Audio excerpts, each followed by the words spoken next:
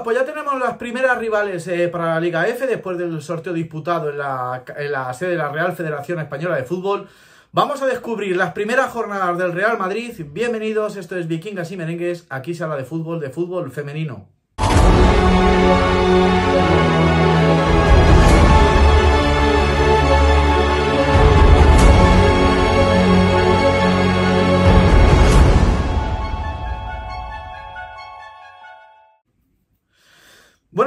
Ya hay fechas, ya conocemos quién serán nuestras primeras rivales en la Liga F, eh, será el español, eh, el equipo de, que este año eh, dirige Sara Monforte, ex entrenadora del Villarreal, serán nuestras primeras rivales en la Ciudad Deportiva Dani Jarque, el fin de semana del 8 de septiembre,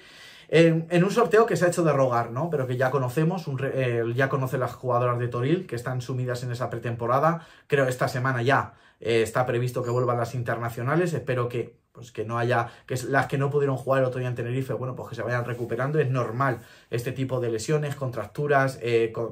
pues es, normal en pretemporada, al final estamos hablando de un equipo con mucha carga, en Tenerife vimos un equipo, eh, bueno, pues plagado de jugadoras del B, muy interesantes muchas de ellas, eh, sobre todo Nueve Bejarano, a mí la verdad es que creo que está subiendo el nivel eh, poco a poco. Yo creo que puede ser interesante ver, y más con la lesión de Antonia Silva. Vamos a ver qué pasa con Nueve Bejarano esta temporada. Amaya, porque hay que recordar que el Real Madrid tiene tres centrales. Este, estamos en la misma situación que el año pasado. Aunque hayamos subido la calidad eh, de las jugadoras, creo que el Real Madrid tiene tres centrales, podría ser interesantísimo ver a Maya, pero no vamos a hablar yo creo que tampoco mucho de la pretemporada, hemos hecho vídeos hablando de ello, hemos, eh, hemos hablado de jugadoras interesantes y yo creo que, el Real Madrid, la próxima, el próximo partido amistoso, que frente al Madrid Club de Fútbol Femenino, ya vamos a ver, yo creo que un equipo más reconocible o, digamos, eh, un previo de lo que va a ser la temporada que viene, ¿vale? Y vamos a empezar hablando, como digo, un Real Madrid que tiene que jugar con Madrid CFF en el Alfredo Di Stéfano, partido pretemporada esta semana. La semana siguiente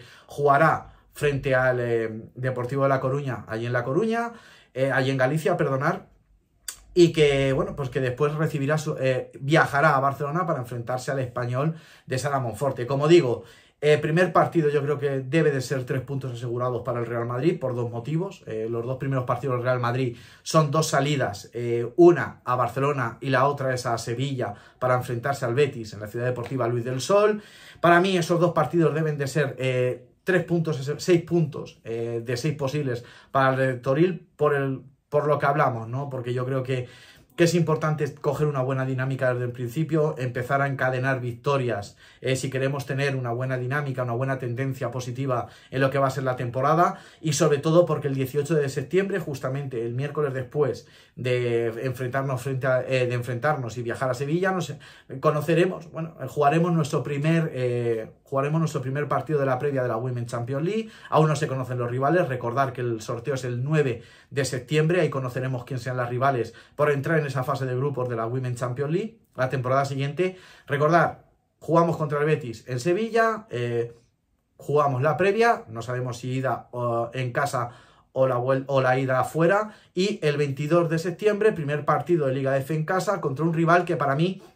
es un rival muy incómodo. Para mí es uno de los equipos revelación de la temporada pasada y que nos va a poner las cosas muy difíciles como es el Athletic Club de David Aznar. Un equipo que, como digo, yo creo que está, este año va a intentar dar el salto eh, a esa, intentar luchar por Europa. Eh, un Athletic Club que el año pasado nos dejó maravillados, que fue, hizo una temporada de menos a más, eh, acabó muy bien físicamente, con jugadoras muy comprometidas con el equipo de David Zandario es un equipo, va a ser un equipo muy difícil de batir. Sería importante ganar también ese en casa, sabiendo también que en esa misma semana tienes el partido de vuelta de la Women's Champions League y que bueno, que a partir de ahí conoceremos, bueno, pues cuál es el nivel del Real Madrid, vamos a ver, eh, yo creo que en tres semanas ya podremos ir viendo algunos mecanismos del juego, eh, cómo juega, los varios sistemas que se puedan poner en práctica con estas jugadoras que hemos fichado. No va a ser fácil, yo creo que no vamos a ver un Real Madrid al 100% las primeras semanas, eh, creo que las internacionales se incorporan ahora, creo que son tres semanas, que no son pocas de entrenamiento que va a tener Alberto Toril con todas juntas, pero al fin y al cabo yo creo que, es un mes eh, de, temporada todas juntas, que necesitan conocerse dentro del campo y que el partido Athletic Club llega muy pronto, pero yo creo que llega en un buen momento para ir, digamos, en ese partido testando cuál puede ser el futuro del Real Madrid o qué podremos ver del Real Madrid esta temporada. Para mí, como digo, yo creo que las primeras jornadas son importantes de conocerlas. Creo que después eh, del, del Athletic, el Real Madrid eh, viaja eh, a Tenerife para medirse al Costa de Tenerife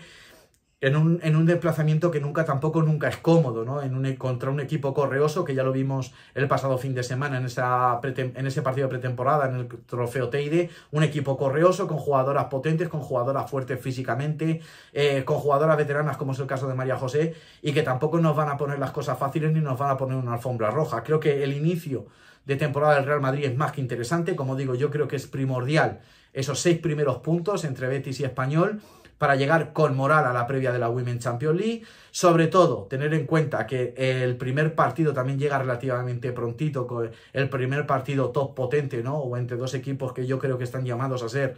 rivales directas esta, esta temporada. Recibimos al Atlético en el Alfredo Di Stéfano el fin de semana, el 12 y el 13 de octubre. Yo creo que ahí el Real Madrid debe de sumar o debe de conseguir la victoria porque sería una manera de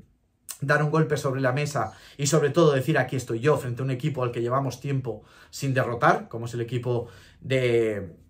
el equipo colchonero y como digo, para mí importante también llegar a, ese fin de semana del 12 o el 13 de octubre. La gente, como digo, yo creo que le está dando mucha importancia a los clásicos, eh, al final son partidos que tienes que jugar. Yo creo que la fecha de este año, yo sí estoy contento que el primero se dispute el 16 o el 17 de, noviembre, por una sencilla razón, porque lo prefiero más avanzada la temporada, eh, con un equipo más rodado, eh, con un equipo que yo creo que bueno, pues si se clasifica para la Women's Champions League, para esa fecha ya sabremos cuál puede ser el futuro del equipo de Toril en la, en la Champions. Si este año tenemos suerte y sobre todo damos el nivel y competimos en Europa y podemos pasar esos cuartos de final tan ansiados por la afición madridista, yo creo que serían una fecha ya, eh, yo creo que estaríamos entre, si no me equivoco, segunda, tercera jornada donde yo creo que el Real Madrid podría llegar a una buena situación en Europa eh, dando descanso, rotando, cambiando de sistema, haciendo otras cosas y sobre todo jugando contra el que yo creo que es el mejor equipo del mundo ahora mismo, con un once más que fiable y presentando las cartas sobre la mesa. Yo creo que competirles eh, ese, en esa fecha yo creo que debería de ser primordial y una opción eh, no una opción, sino una obligación, yo creo, este año a un Fútbol Club Barcelona, que sabemos que ha cambiado de entrenador, que seguramente hayan cambiado cosas a mejor y que, y que bueno, y que nos conocemos mucho. Así que chicos, espero que os haya gustado el vídeo de hoy. Ya os digo, aquí ya hay eh, fechas. Eh, para mí, resumiendo, primeras cuatro jornadas, tres, cuatro jornadas clave, sobre todo esos dos partidos que hay entre esos tres partidos que hay entre las dos fases previas de la Women's Champions League, entre, el, perdón, entre los dos eh, partidos de la previa de la Women's Champions League, el de ida y el de vuelta, el, el Betis, eh, sobre todo, dar descanso, sería importante dar descanso a jugadoras que sean importantes en ese momento para llegar frescas al partido de ida, de la Women del 18 de septiembre y sobre todo ese, vamos a ver, ese 11, ese, ese Athletic Club, que tal se nos da, como digo, un equipo incómodo, un equipo que no nos va a poner las cosas fáciles y después partido de vuelta y viaje a Tenerife, si no me equivoco, ¿vale? Como digo siempre. Así que chicos, hasta aquí el vídeo de hoy, espero que os haya gustado, un abrazo y hasta la próxima.